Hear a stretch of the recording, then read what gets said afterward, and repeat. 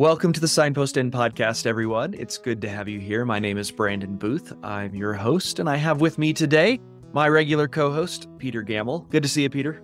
Hey, Brandon. Good to be here, as always. Yeah, it's good to have you on the back porch.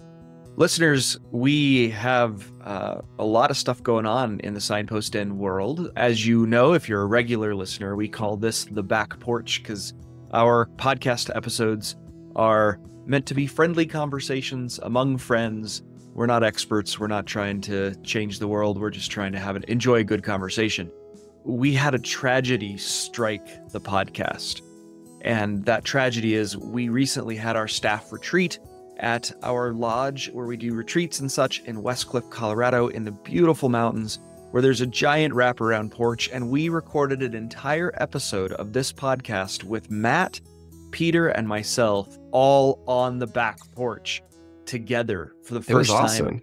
I know, for the first time ever, we were physically located on a back porch together with this gorgeous mountain scene behind us as a storm rolled in. Like it was incredible. And there was no audio. we had we had this beautiful silent video of a wonderful conversation. So we are and it was probably our only chance to do that.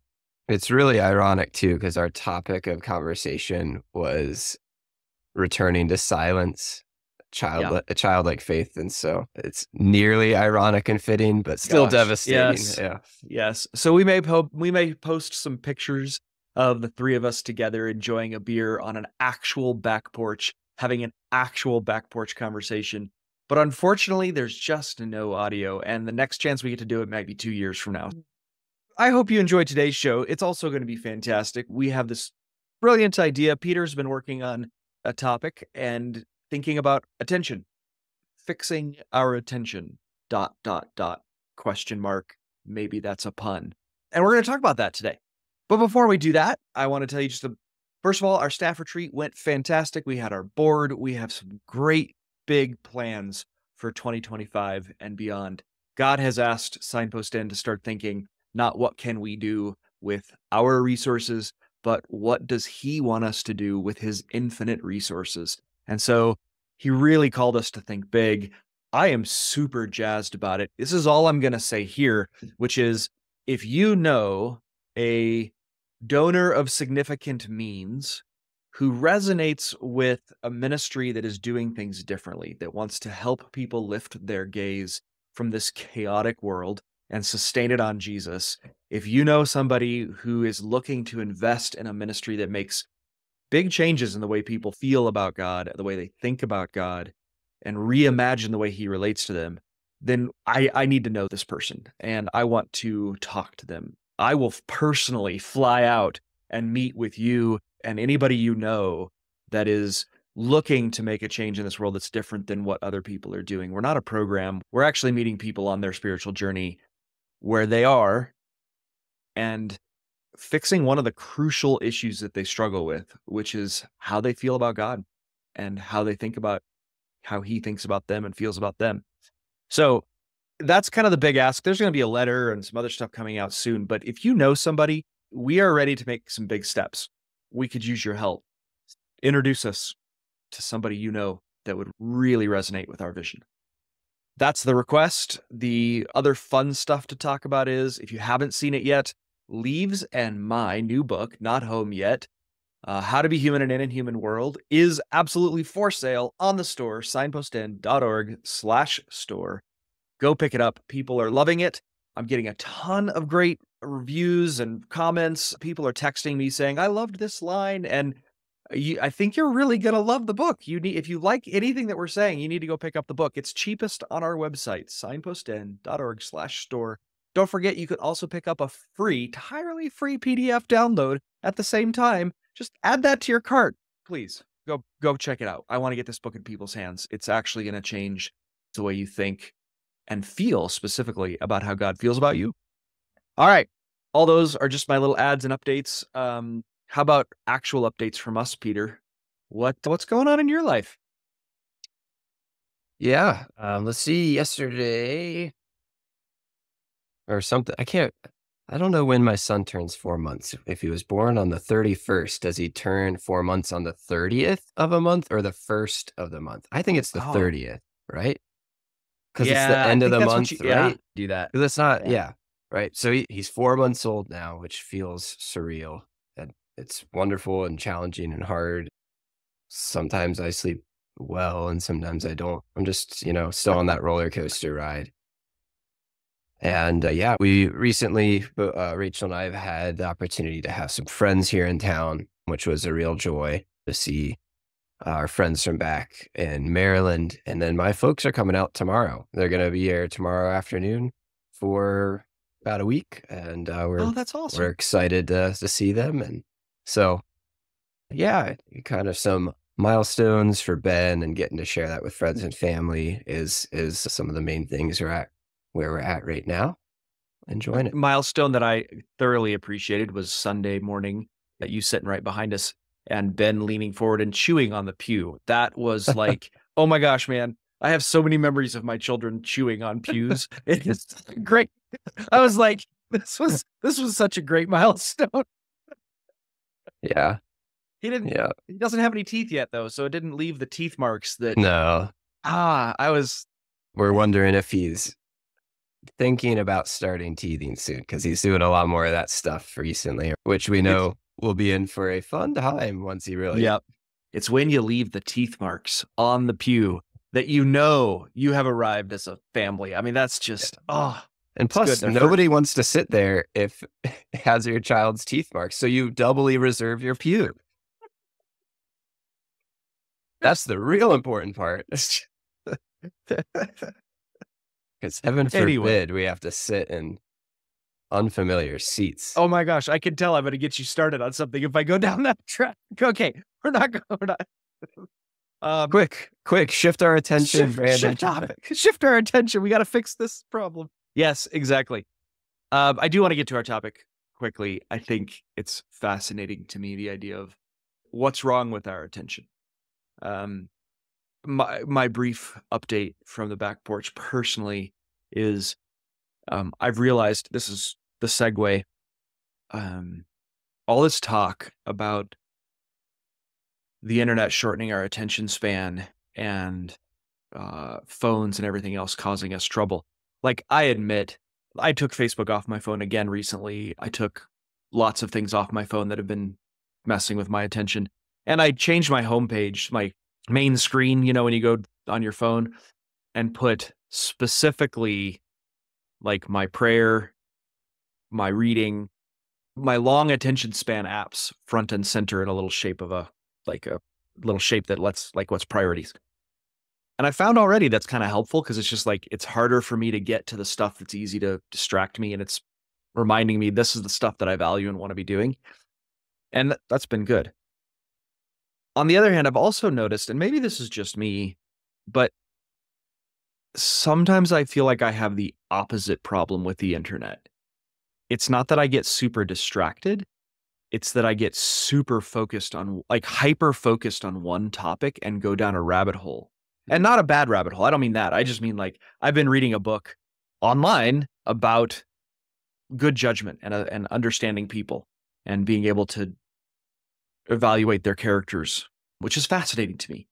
I can get lost on that for two or three hours at a time and not realize that I've just spent three hours on this like side interesting project when I should have been doing something that I actually had on my to do list. So I don't understand what that is. I don't know if that's in a symptom or I'm strange, but like it's not the problem of me being distracted by many things. It's the problem of me being distracted by one particular thing. Mhm. Mhm.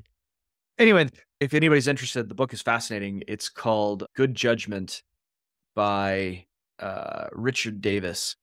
And it's really about hiring people, which is not what I'm, I mean, I may be interested in that soon, but it's about using the Big Five personality test or Big Five personality framework to better understand people and make good decisions about them. I find it more broadly applicable. I mean, he's telling you how to interview somebody, whether to hire them or not. but I find it really applicable for understanding how people function and what their personalities are like. It's called Good Judgment Making Better Business Decisions with the Science of Human Personality by Richard Davis. We'll have to throw that in the show notes or something. Yeah. Okay. Let's talk about the topic for today. Let's focus our attention on the topic of attention. The title of the show is Fixing Our Attention. So, Peter, this has been your idea. You've been talking about this for a while. What's wrong with our attention, Peter? Mm. And how does why what needs fixing? Yeah, that is the question, right? Um, so uh, I have a couple points that I want to eventually get to, but eh, I want to start sort of where this started for me, which, uh, and this is probably long ago, but I think I became aware of how dissatisfied I was with how I was spending my attention about two years ago when I started using this little notebook. This was the uh, first pocket uh, little notebook that I carried. It was like just from Office Depot here in town before it went out of business. So it was like Aw. 50 cents or something. Pages are falling out and stuff, but uh, it's a crappy little notebook that um, I started carrying around in my pocket. And in the first page, this is what I say I am endeavoring to use this little book to draw my attention to things that matter. Um, hopefully, I Hmm. Flesh out thoughts and ideas without external distraction. And then I have a side note of a telescope or perhaps a microscope to focus on one thing at a time. Um, Huh. But what you were you, what you were just saying, Brandon, about getting caught up on something on the internet, and maybe it's not ten different things; it's one thing. I also relate with that. But I was just finding that the internet has so many fascinating things. For me, it's YouTube, right? I can just browse and be like, of course, I want to learn how to braid my own sling because what the inner boy in me is like, of course, I want to have a sling and, and learn how to accurately throw rocks at stuff. And I'm like, well, I don't know. I get into these random topics that are fascinating, and many of them aren't bad or anything. I just find that if I had sat down and said, what are my priorities? What do I want to be about? What are the things I want to enjoy? 10 of the things that I recently watched on YouTube would not make the list, right? So I was getting interested into so many things, and yet I didn't, it, I don't know, I, I never did anything with any of them. I just sort of Mhm. had this broad interest of like, oh, that's kind of cool. Which, side note, I think God made us that way, right? To learn about the world and explore. I think there's a healthy curiosity of like, that is cool. I do want to learn about that. But for me, that's sort of where this started of, of realizing that in a way, my attention was getting hijacked, that Mhm. I wasn't fully in the driver's seat. I wasn't saying, you know what, I would like to spend my leisure time or my free time doing. I want to do this or this topic or this interest. I was sort of just casting my attention out like a fishing, you know, fishing in the wide world of the internet, specifically YouTube, and saying, someone give me something really interesting right now. And it- Yep. you know, a thousand videos were, you know, trying to chomp at that bait and and take my attention. Mm. Um, and so I found that to be a problem because I was, although I was curious, I didn't have any real uh, direction behind it. Nothing came of it. And I was dissatisfied with that. And, and so I think maybe many of my friends and family and the people I talk to resonate with this sort of, "Oh, I'm not fully in control of my attention, right? Mhm. Like I, I get sidetracked and I get distracted by many things. And I wish that I had a better ability to focus or attention span or whatever vocabulary is is accurate there. And thinking about some of the reasons why this happens. And and one one is that um the world is crazy, right? We live in a chaotic world. Outside of just, you know, on the internet, algorithms literally designing things to try and get your attention, engineering things specifically for you to hook you into Yeah. watching longer, to watching all these things, right? To to leave aside marketing and all that. eh, The world is engineering itself to say your attention is what I want to grab, right? Yes. I think the image of like being in like a, a carnival, you know, as a kid, and and every guy at the booth is loudly proclaiming their wares, and you're like, huh? Oh wow, that looks amazing. Oh, that, that too, and and Yeah. and that's like that is a picture of the world we live in and how Mhm. everyone, everything is urgently demanding our attention in many ways. Mhm. Um, Can I pause you there on that image? yeah, yeah, Because that image is so perfect, partly because of, first of all, carnival. You know, I mean, there's a lot of rich tradition to that idea, or, or rich history to that idea of the world being a carnival. Hmm. That that in a sense, this is not a new thing that we are humans are facing in our day and age, but the world has always been a fragmented, loud and boisterous crowd of people demanding our attention for crap. for for evil, for useless, for trinkets, for I mean just this is you know and and in a sense we all I just resonate so deeply with the that image being a little boy going to the the street fair and everybody hollering and all the cool things and the the frozenness I felt. You know, I had 5 bucks in my pocket and I could spend it on the little trinket. What trinket was I going to buy? And I could not decide cuz everything was constantly grabbing my attention. And of course, inevitably I bought something trashy and it wasn't even worth it. And I I was right. so sad that I bought it 30 seconds after I bought it, right? Yeah, yeah, And like that is just exactly the way the world works. Here I am sitting in my garage watching because I have a little setup in my garage watching YouTube like you were talking about and I've spent 30 minutes watching a YouTube video that I don't even remember today what it was yesterday right. because it's completely pointless. Same exact picture. Mm. A- And the feeling you just described of that, like that overwhelming, like paralysis of like, there's so much going on. The world is crazy, right?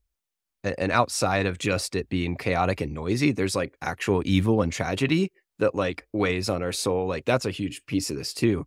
Where I think the second reason our attention is the battleground it is, you know, is because we're looking for ways to cope with this crazy world. I'm not only Mhm. having people steal my attention, but I'm also in in mostly a subconscious way saying, "Ah, this world is nuts. I don't want to attend to this. I don't want to look at all the bad stuff going on in my life or in the world. Mm. Somebody entertain me. Somebody take take my attention away from all this stuff that's going Mhm. wrong. And even if it's just briefly, you know, entertain me or get my mind off on something else." Yeah, we surrender our attention to things as a way of escaping, eh, sort of temporarily escaping pain. Yeah. Boy, that's a toxic cycle, right? Because Mm, it's not just the pretty distracting things in the world that try to steal our attention. I mean, I'm it's it's all the tragedies, it's all the really bad stuff that's actually there that in some sense each one could completely absorb us. You know, like giving our full attention to you know, we're we're recording this right now just as the hurricane Helene has ripped through the south. Like mhm. that demands the full attention of all of the people in that area to help. And that one issue in the world could completely consume our attention. And for some of us, it should. Like we'll get to that. But but then there's also the stuff going on in the Middle East. There's the stuff going on in Russia. There's the stuff going. I mean, there's everywhere you turn, there's something. And then in my own life, family issues, personal issues, each one of these things could consume my attention entirely. And I'm exhausted. Where do I even turn? Which one do I attend to first? And how would I even know? Which maybe I don't need to attend to some of them, but that feels wrong. Like, am I not supposed to pay attention to the tragedies in the Mhm. world? Like, uh, Mhm. uh, doesn't that feel like a, you know, so yeah, it's, whew, give me some YouTube and some Netflix, my friend, because I, Yeah. can't- I don't know what to do. Right. Or maybe a couple of too many stiff, stiff drinks, you know? Like, again, same thing. Maybe just kill the, Yeah. kill the faculty of attention. Yeah. Yeah. I, I grew up in a, in, I think in a sort of naivety where it's just like, oh, people that do bad things are just bad. Like they choose those bad things and that's a bad person. And, you know, whatever, drugs, alcohol, and that stuff. I feel like the longer I live in this crazy world, there's part of me that goes, that's a horrible life destroying choice. But I kind of get it. I kind of get Yeah. the move of like life is so nuts. And, and right, I haven't even experienced a lot of the horrible, horrible, horrible tragedy and abuse that a lot of people have in this world. So I can, I can like imagine that as like, oh, you've experienced just like the worst. And it seems like, yeah, killing that faculty of attention or numbing it out to the point where you can't attend to your pain anymore. Like that kind of makes sense, right? And I don't know. I, I think, I think in a healthy way, it's bred some compassion, right? And and hopefully, listeners, that's what you hear as you talk about what's wrong with our attention. Is that what it means to be human in this crazy world? Is that we're just overwhelmed with demands on our attention and urgent voices crying out all the time for things to sell us, for things we need to take action on, right? It's just, oh, I can feel like my shoulders getting like tense right now, just like talking like, mm-hmm. oh my gosh, it's overwhelming. And that that's think not that's- a judgment necessarily to start. It, you're not unique Well- for feeling that way. Yeah, yeah. I would say it's a it's a freeing judgment. It's a placing the blame properly. Like yes. if you if you like us feel like your attention is fragmented and destructed and all over the place. Yep. That's because as you said, we live in a world does, that has organized itself around trying to destroy us that way.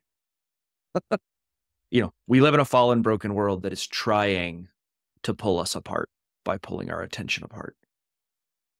Yeah. I think this is where the pun kind of fits in, right? Mhm. What needs to be fixed? Well,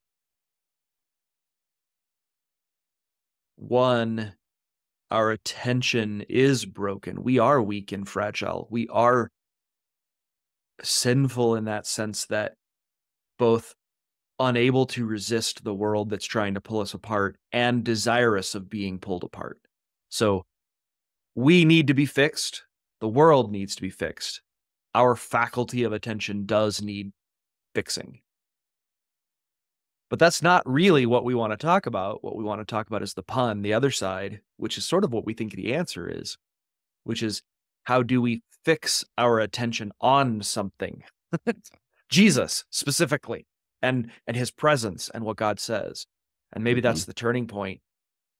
Um Peter, as we do that turn, I know this is a hard question. We were bouncing this around beforehand. Mhm. But what what do you think what are we talking about? What is attention? Yeah. Yeah. What even is this? Thing we're talking about. This- yeah. Yeah, it feels it feels like an amorphous co- like I don't know, it's some faculty of what it is to be human, to have a mind, you know, but it's this mixture, this amalgamation of our wills as well, our desires and our minds and stuff. Mhm. Like, and I think it boils down to choice. We have freedom to direct our attention, but it's just such a complex faculty that's influenced by so many factors that rarely does it feel as simple as, hey, I would like to direct my attention here. And then our attention stays there, right? I like that word amalgamation. I know we were joking about it before the show being a big word, but I like that word because if you think of a human as having many different powers, abilities, we have the ability to see, for example, we have the ability to hear, um, we have the ability to choose, love, all these things that you know, these traditional. We under we can parse out a human being according to their abilities. Attention. Maybe one way to think about it is the way that we direct all of those different powers. Vision is a great Yeah. simple example for the whole. You know, in your in your field of vision, you have awareness. You can see a lot actually. Most of it's fuzzy though. Like you have this field of vision and you're aware of everything in your field of vision. If something moves in the corner of your eye, you will then train your focal point, your focus, your attention on that thing, especially if that thing is vaguely threatening. So while we have this broader range of awareness, we we really can only focus our attention in particular places and that means it's inherently kind of a moral thing. We attend to what we think is important, to what we feel is important. So, yes, if you see something in a corner of your eye move threateningly, you immediately attend to it because that's important. hmm and you stop attending to other things. You may still be aware of them in a general sense, but you can focus that attention on that stuff that's important. And so, if you kind of keep that analogy in mind, look, I have this power of loving things. I have this power of um, thinking about things. I have this power of choosing things, and I can align those powers on one thing and focus on it. And that's going to be what's important to me. You can see why the world wants to distract us and destroy that, right? If we can fragment your attention and it's bouncing all over the place, then you can't see the lion coming. You can't see the danger. You're much more likely to be susceptible to the sin, the devil, the world. Anybody that doesn't have our best intention in mind is really trying hard to distract us all over the place, like a magician, right? Like, no offense to anybody who's a stage magician, but that's the art, right? They are practiced in the art of distracting your attention away from what's important so that what they're doing looks like magic. Yeah, the word there, misdirection. Right. Yes. It's, it's misdirection. And I'm just thinking about that contrasted where like versus like what we aim to do as a ministry, like spiritual direction. Mm-hmm. It's like they're opposed forces of the world's trying to misdirect us, get us looking at all the wrong things while yep. we're being like, how do we how do we sustain our gaze on Jesus? Mm-hmm. That analogy of vision is so helpful. Even though that's maybe not concrete about exactly what attention is, like I feel like that makes it clear in my experience. And so hopefully mm-hmm. for you listeners, that does too. But and it connects so well with, with that phrase that we've been landing with recently about sustaining our gaze on Jesus, right? It's a it's a vision thing. Where am I looking? Mm, mm-hmm. So that that really resonates with me. Yeah. And if you keep kind of with those analogies, it's like as you said, the world is chaotic and full of suffering and without direction, without clarity of attention directed towards the right things. The chaos, the suffering feels overwhelming and I'm just mm-hmm. I'm paralyzed. And does that not the way we all feel? Just absolutely paralyzed. And so, you know, I love that image of as long as we're kind of looking on this horizontal level at all the stuff everywhere in the carnival and in the world, I can't. I don't even I can't even begin to make good choices or to know where to go or how to feel. But if I lift my gaze and see, you know, I'm thinking of myself as a little boy. This is so relevant right now. Mm-hmm. I remember this one. If I lift my gaze to, my, to see my mom or dad, then I have direction. And I remember distinctly this time in in a county fair carnival like place, I got lost because I was looking at all the trinkets and I was all distracted by all the little vendors and everything. And then then I got kind of panicked and the first thing I did was like grabbed the hand of the jeans next to me because that was my dad's jeans. And it was not my mm-hmm. dad. Mm-hmm. It was not. It terrified the heck out of me. And the guy was nice, but terrified me because I didn't know where my dad was. Because I was trying to lift my gaze. I was trying to find direction again. And this was not it. Um, you know, good news is my dad was not very far away. I found him. It was fine. Little Brandon mm-hmm. was safe. Everything was mm-hmm. good. But but that's like exactly it, right? Here I am in this crazy, chaotic, destructive world. Fixing our attention doesn't mean fixing our problem of brokenness, but it means lifting our gaze to Jesus, fixing our eyes on him, right? Is that I mean what do you how do you react to that? Yeah, that that makes sense. It, yeah, it makes a lot of sense. We when we have a reference point, we're no longer lost in the sea of so, uh, something. We go, okay, there's my trusted true north, and I can I can head in that direction at least in this moment as I have eyes on the target, and that gives a lot of comfort. I think uh, it know. also changes the way like I think one of the things. Okay, what we could get off on the a tangent here that would go the wrong direction. I think, which is to make this conversation what it usually is about, which is our choosing our endpoint and our goal. But I think the way you framed this is less about us choosing our our direction and goal and what we're going to do next but it's lifting our gaze to see the bigger reality and the context in which everything really is, right? Mm. Peter, what just jumped into my mind was Philippians 4, you know, or or even the Psalms 121 we talked about. Yeah. What's wrong with our attention is it's fragmented and everywhere else, all over the place. But that's not reality. Philippians 4, the, the turn, turning point is the Lord is near. Reality is God is present dad is present. Right. Yeah, it's it's like thinking you were lost and then your dad's like got, you know, it, it is holding your hand and you're like, "Oh, oh, oh, thank goodness," you know. As I've been processing and thinking about this topic, I really feel like the war for our attention boils down to our core need for security and significance in this crazy chaotic world where it we feel lost we feel maybe threatened or at least if we're not threatened then it's just like i just don't know what to do right? I don't have any direction yeah. or significance because there's just there's a myriad of options uh, it's just just overwhelming and paralyzing right? And so you don't have any that uh, security or significance it's just you're lost.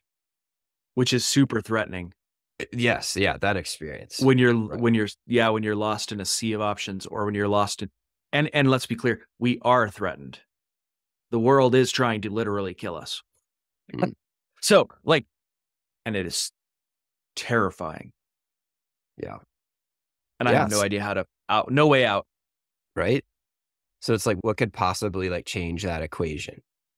Mm-hmm. to allow us the opportunity for something other than responding in fear to the the actual threats of the world. It's like being lost in the woods on a dark night. Everything feels threatening. I have no idea what I should fix my attention on because literally every move is scary. Every sound, every feel, that could be the thing that's going to kill me. I am paralyzed because I can't fix my attention on anything because it's all threatening. Mm-hmm. mm-hmm. The phrase that grounds this truth for me that I want to arrive at that I think is the turning point. The phrase that works for me is Jesus is for me. Right. And I yes. think you, I, I love the way, was it Piotr Małysz that, um, who, who said the God is for you with the entirety of his being? That, that has yeah. also captured me too. But it's this idea that, um, amidst the chaos of this world, there is that like this the idea that the author, the the Almighty God, who who can even be in control over all the chaos, is my ally.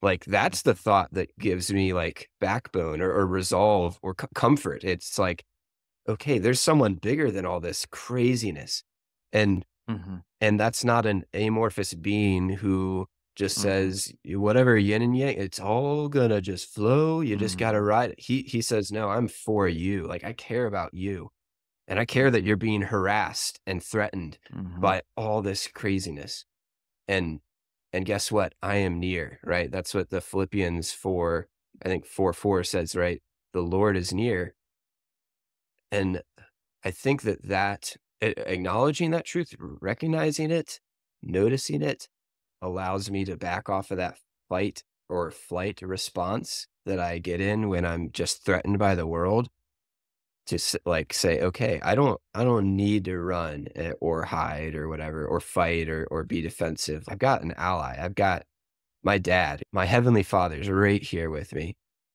Mm-hmm. and and i'm okay. I think maybe for listeners it's helpful to say the reason we keep going back to this is a true back porch conversation where we are just batting an idea around. We're kind of bouncing all over. But the Philippians thing has been central to our understanding of what we're doing as Signpost Inn Ministries, helping you lift your gaze. But this imagery is working for me, Peter, what you're talking about right now. So here's the context. If the world we live in is that dark forest where it's everything is threatening, that's the context, I think, of Philippians 4. Things are nuts. But Paul says, rejoice in the Lord always. I will say it again rejoice. let your graciousness be known to everyone. The Lord is near. Don't worry about anything, but in everything, through prayer and petition, with thanksgiving, present your requests to God. Here's what we understand uh, Paul to be doing he's shifting your gaze from, oh my gosh, everything's threatening all around me, to look up. God is right here with you. You're not alone mm-hmm. in the woods. It's not, you're not, you're not lost and alone in a dark woods, depending on yourself to secure you and figure out what to do next. No, the Lord is here. And so to lift your gaze doesn't mean to like make a moral choice to think about better things. It just means to pay attention to to turn your attention to the reality you're already in, which is God is right there on the path with you holding your hand. I mean, that's the Psalms all over the place, right? You hold my right hand. mm-hmm. I, that that many Psalms talk about that in the midst of the chaos that God is at my right hand. And that the the move is not you need to somehow get yourself in order and make better choices and prioritize your life. The move is notice just notice that the reality you're in is different than you thought it was in. Like you were saying i'm not actually lost in that carnival. My dad is holding on to my right hand. I thought i was lost but i'm not. Mm-hmm. Mm-hmm. And we were talking about this beforehand but you, you mentioned a little bit ago the moral component of our attention, right? It's sort of a direction of our our will and loves, and so what we pay attention to matters. We've said it this way: like you see more of what you attend to. So if you're attending to more evil, filth in the world, right? That's that is bad. But what is also important and, and not I think it's it's almost a prerequisite to recognizing the presence of God as good, as him as an ally on our side. Is sort of dealing with like, wait, but I've been attending to the wrong things and kind of feeling like God wouldn't be that ally. and we were talking about this before. The good news is that God sees our situation as harassed and helpless sheep without a shepherd, as as you know, the Gospel of John puts it, I think. But um, mm-hmm and and he says, "I know you can't. I know you can't even lift your gaze. I know, mm-hmm. in many ways, you want to to look at all the wrong things. He's right there alongside us the whole way, but and he also whispers to us that it's not so much about learning to retrain our attention as it is the fact that Jesus did it perfectly. He says, "I've already attended to all the right things for you." He he is that great high priest who has accomplished everything for us. Mm-hmm. Yeah, the image is very much as you're talking about that. I'm getting that image throughout Scripture. We want to read it as the world is chaotic. We need to fix it. Mm. My attention is fragmented. I need to do the work to fix it. I'm threatened. Nothing can save me except for me. And God's story throughout scripture is constantly, I'm right here. And we're like, you might be right here, but you're one of those other distractions because you're probably mad at us. And God's story is, I'm right here and I'm for you. Mm-hmm. you know what I mean? Like the story is never bring me down focus your attention on me so that I will. It's the, the, he's always just sort of calling our attention back to the reality that he is right here, has never left, and is for us. Mm-hmm. And then we get get to that point of Jesus, who God becoming human, recognizing our frailty, knows that merely the call alone does not fix our attention. We are so frail and weak and broken that him just saying, I'm right here and I'm for you isn't enough. Because we're not even good and strong enough really to keep our attention sustained on that. So Jesus does that for us too. Yeah. He's like, all right, I will take on all of humanity and I will do the work of sustaining my attention on the Father full time. Right? That's what he says, John 15, 19. Basically, I only do what I see the Father doing. I always keep my attention firmly fixed on the Father. And in Christ, all of humanity now is accounted as having fully fixed their attention on God the Father with no other distractions. And I'm even released from that burden. You know, he's he's like, Yeah. now pay attention to the fact that not only am I always been here for you, not only the fact that I'm for you in everything, I'll even do the work of attending to that fact for you. Yeah. That's that like that kind of hurts my head, but in like a good way as I, Peter, endeavor to focus my attention on things that are good, true, and beautiful, right? All the things that Paul lists in Philippians Mm. 4 8. It's no longer a, and if I don't, you know, X, Y, and Z, you know, this condemnation or, or shame. It's like, and if I don't, Jesus has got me Mhm. and, and and I don't know. I think it's paradoxical that the very truth that Jesus has already done it all for me is the thing that I end up wanting to attend to or or just am drawn to, right? That's Yeah. like in realizing that I don't have to attend. I don't have to have perfect attention and and direct my attention at all times towards the true, good and beautiful.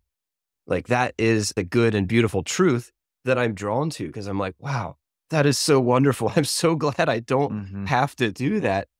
An incredible like sense of relief washes over me, Mhm. and i find myself attending to that truth because Yeah, it's yeah. because it's good news because I'm like it's I'm experiencing it as this is wonderful, right? Yeah. And and Yeah. almost without trying, it's like I end up in that place that I wanted to be. Not almost. No, not almost. Literally No, yeah, trying. yeah. Like, and this is a this is a long-standing principle that I have I learned from seminary and I've taught to many people. If you want people to think about Jesus, trust Jesus. Don't tell them to think about Jesus and to trust Jesus. Tell them about Jesus. If you want any human being to think about anything, don't tell them to think about it. Tell them about it. It's like really obvious once you notice it, right? If I tell you you need to think about fill in the blank, well, you're already thinking about what you're thinking about, not thinking about the thing. You're distracted immediately. You know, Peter, you really need to be thinking about your wife. You should be thinking more about her more often. If you're like me, the very next thing you think is, oh, I'm crap. I don't think about her enough. I put myself before her. And you're not thinking about her. hey, Peter, Rachel's really awesome. She's a great person, and you are lucky to have her. I I really like her. And you she makes you a better person because she's smart and she's kind. Now who are you thinking about? You know what I mean? Like Mhm. I didn't tell you to think about anything. So it's like, it's so obvious. And this is what Jesus does to us all the time. He doesn't say, think about these things. Yes, Paul is saying that, but what he just di- d- got done saying is, the Lord is near. Right, right. And I think that's the principle here is that our attention is fixed on Jesus because he calls to it just by being present Yeah. just by showing us himself. You know, the image, I, and, and I'll stop. The metaphor I had in Mhm. my head was um, keeps coming back to that little kid. We are like little children, right? The scriptures talk about this. We do not have the ability to control our attention. Little children don't have that ability. They're distracted by many things. And when you'd have me as a little child, I'm thinking of my own little children now in Pike's Place Market in Seattle. So busy, so many people, totally distracted. Left alone would get run over because they'd run out into the street. But they're not alone. I, as their father who loves them dearly, literally grabbed their hands and directed them through the crowd, attending to the things that needed to be attended to for them on their Mhm. behalf. In so doing, one, they experienced the goodness of their father. Two, they attended to it. And three, they learned what to attend to. Because I did it for them. I didn't ex- I didn't tell them, now pay attention to the traffic. I mean, I do when they're older, but not, you know, not when they're little children. I just take their hand and walk across and look for the cars and walk across with them. That's the image. Jesus is doing it for us. And we're just kind of like, huh, he's here. I'm safe. Mm. Yeah, that's a wonderful image. Jesus is the type of person who does the good for us on our behalf, not requiring eh, thanks, praise, adoration. He, he just because he loves us and says, if you're left on your own, you're going to get hurt. And I, I love you. So he grabs our hand. And that's a beautiful image. And it's like, to me, I think about what, what a gift to get to the point like where, where I do go, oh, wow, look what he's been doing for me all this time. Like, I don't know, the being able to articulate that feels like a gift to me at least of like Mhm. the noticing his love There are two images at work here. One is of, of us as the little child who can't do it. It's what Paul says. First, he talks about Jesus. God is near. He doesn't tell us what to fix our attention on. Then he does say, okay, now think on these, attend to these things. So there is a recognition that we can practice it. Mhm. And I think keeping these two images separate and intention is going to help us one, recognize we are always the little child who can't do it. And two, there is an invitation to do it. And if you ever get stuck on the, if you ever get stuck on the invitation to do it as law, and I'm like, oh crap, I don't do it very well, just go back to the other image and stay there. you know, don't like, don't try to resolve the paradox, live in it. But what are ways practically that you have found, gracefully that you have found, Mhm. to allow your attention to cease resisting looking up? yeah i feel like there's sort of a chain reaction that happens for me and, and we've kind of talked about it here but i feel like at first for me the very the first thing like has been sort of just a general self-awareness to revisit this image again a young child can't articulate why they're terrified at the carnival overwhelmed and everything. They, they just know that they're going whoa whoa whoa whoa right? Like they couldn't articulate wow i'm really distracted and he keeps talking really loud and that guy's got a clown suit on and waving you know they can't even say it. They're just experiencing it right? And like mm-hmm. i've felt that way and i've felt that god's invitation that for my personal growth and for fruitful you know trusting him has been to practice like articulating some of these things which is a reason why i've got eight you know these notebooks that i've used over the past you know two years because i've just i've stuck them in my pocket and said god i want to become more aware. I think you're inviting me to become more aware of what's going on inside of the of the the voices internal and external that have got my attention. And so without judgment i've just been trying to write down thoughts and feelings that oh, go wow this intrusive thought is coming in or the, you know Mhm. this this good thought well that seems really interesting i i'm thinking about that right now and just for me that's been like the baby step in of like at least noticing that noticing what i'm noticing right Mm-hmm.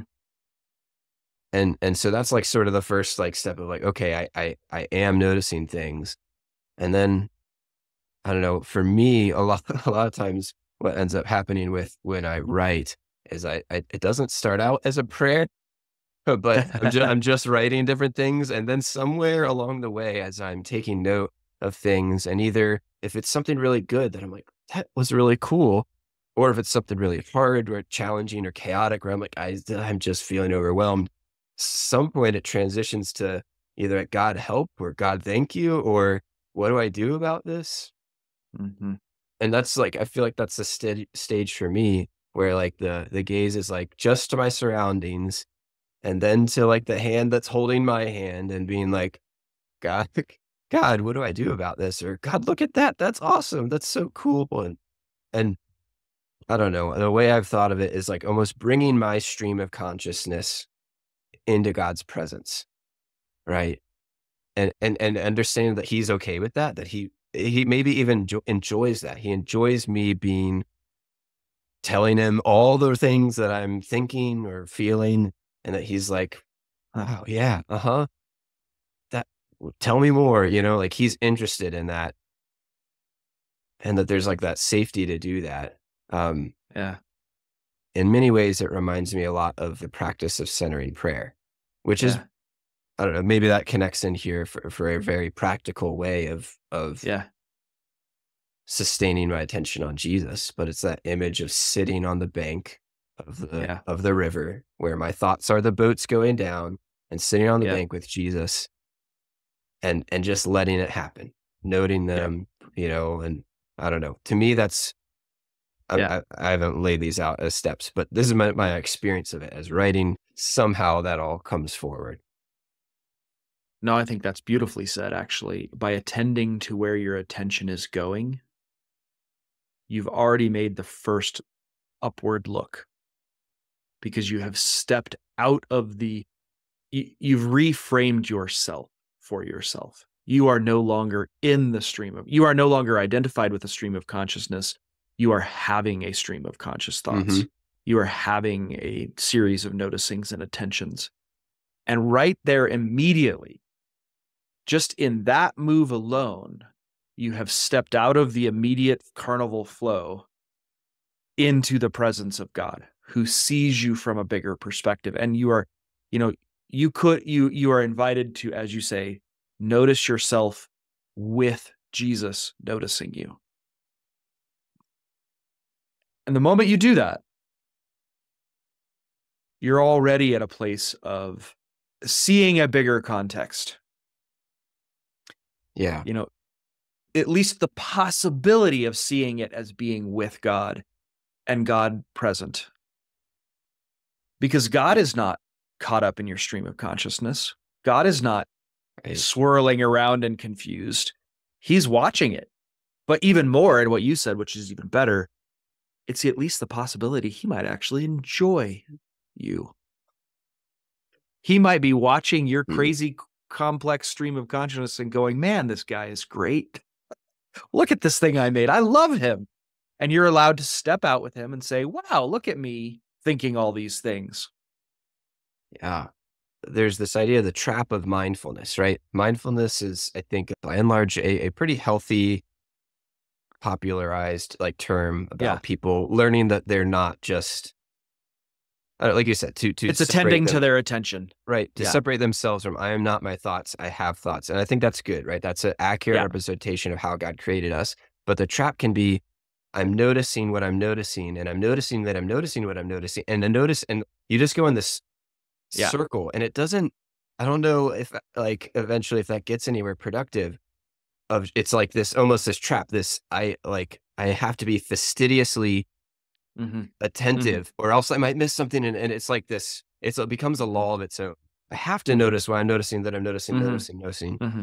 Right. And what breaks that and what you just said is that somewhere along the journey of, of that for, for, for me has been, I'm noticing that I'm noticing things and I'm noticing that God is notice like God is yeah. Here. like, and the cycle stops with him.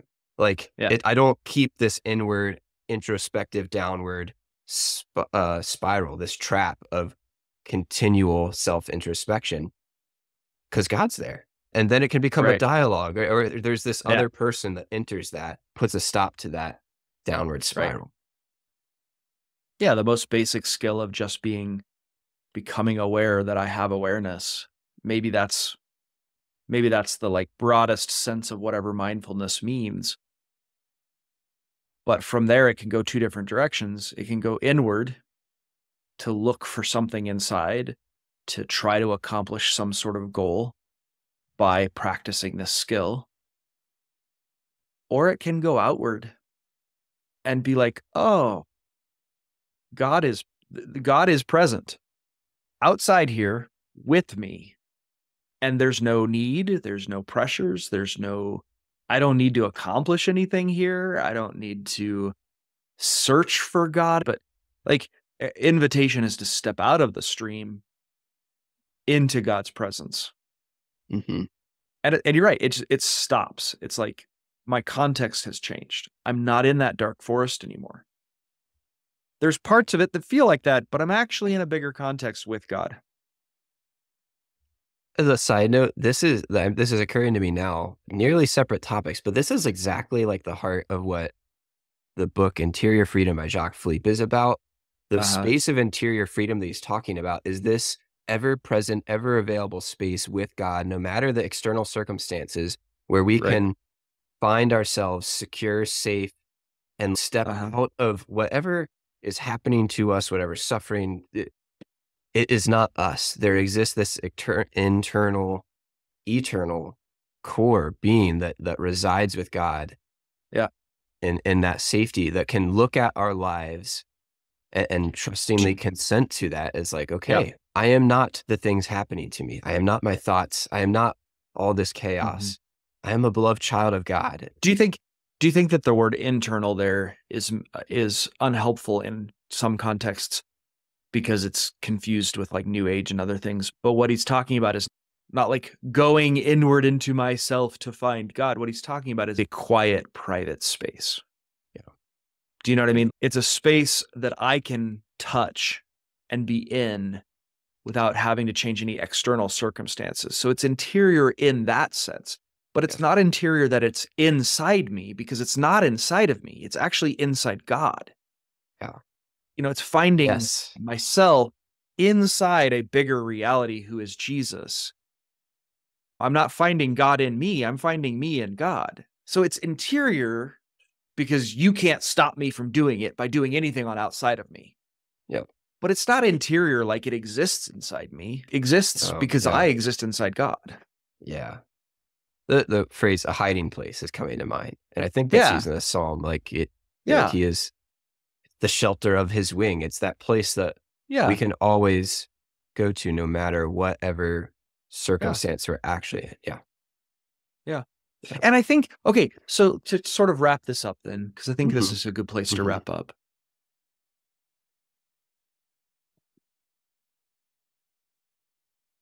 That's the invitation, or that's the place where God is like, what can we do, if if that's even the right question,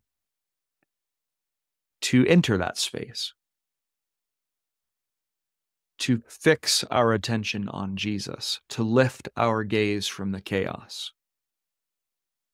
And I, for one, would very practically simply reference perhaps read a particular psalm or two that does not talk about doing this, but that is doing this.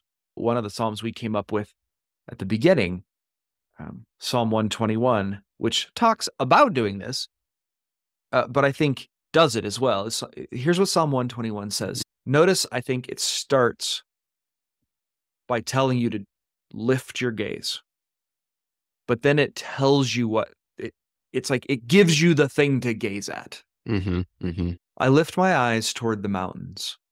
Where will my help come from? My help comes from the Lord, the maker of heaven and earth. He will not allow your foot to slip. Your protector will not slumber. Indeed, the protector of Israel does not slumber or sleep.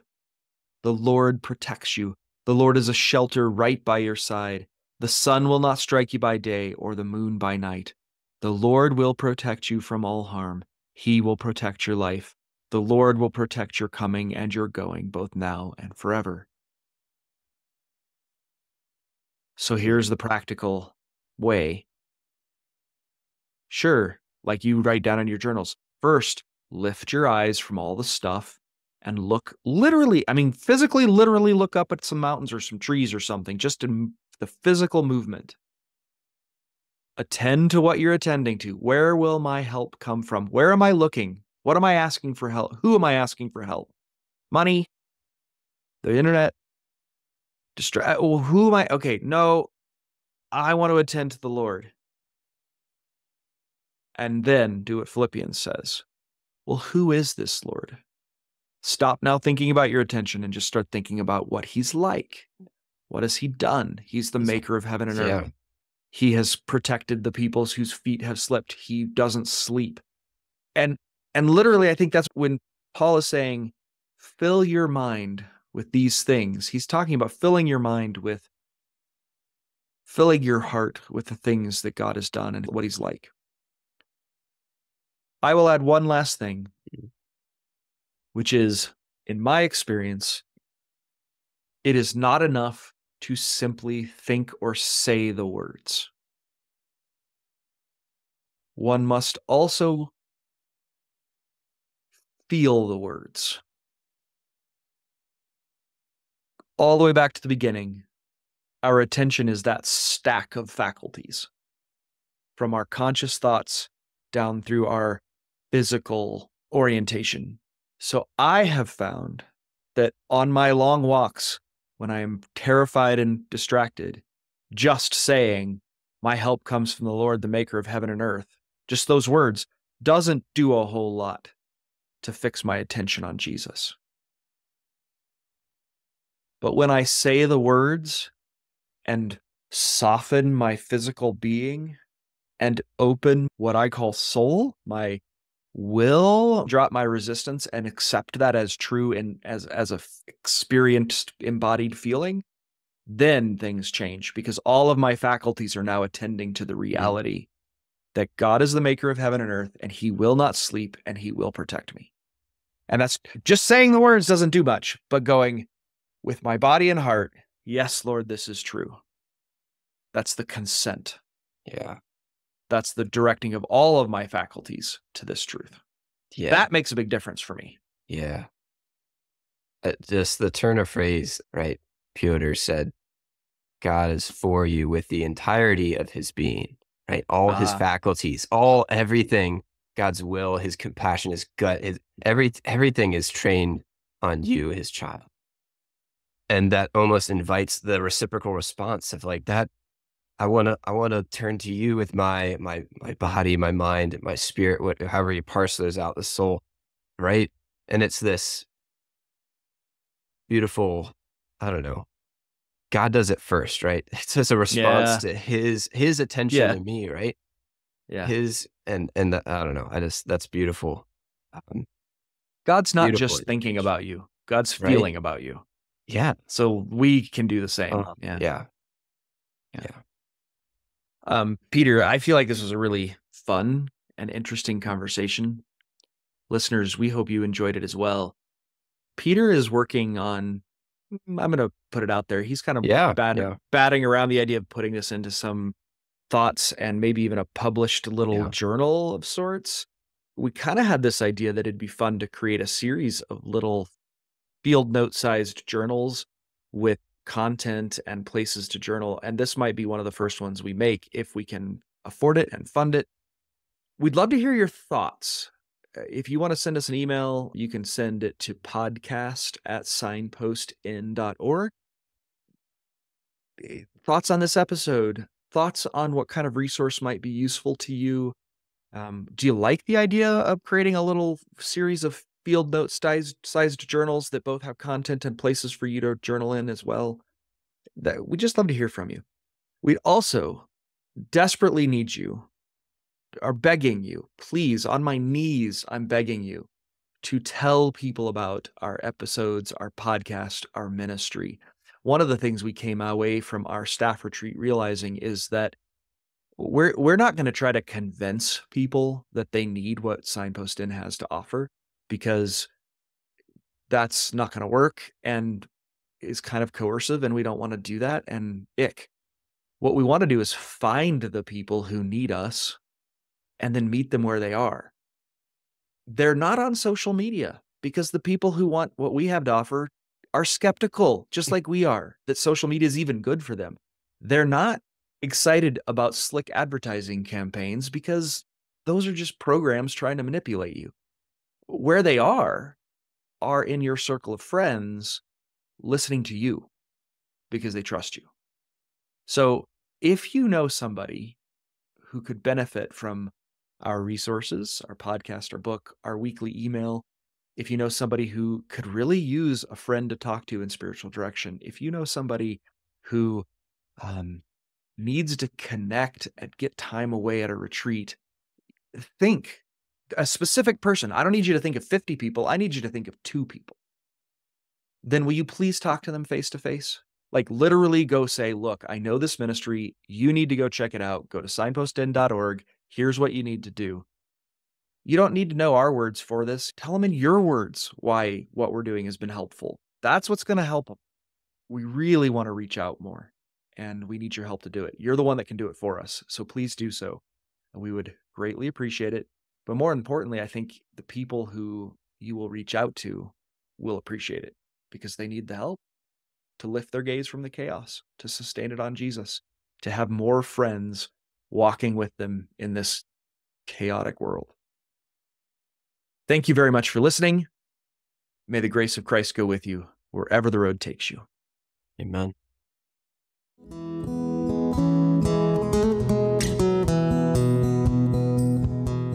Thanks for listening. This podcast is a production of Signpost Inn Ministries, a nonprofit Christian ministry dedicated to strengthening people's relationship with Jesus and walking with them compassionately on their life's journey.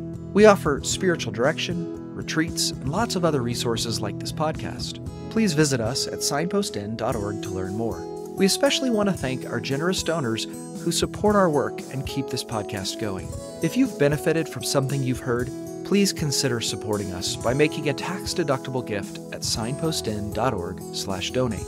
We also want to thank Rex Daugherty for creating the original theme music for this podcast. You can check out more of his work at his website, and you can find all the links in our show notes.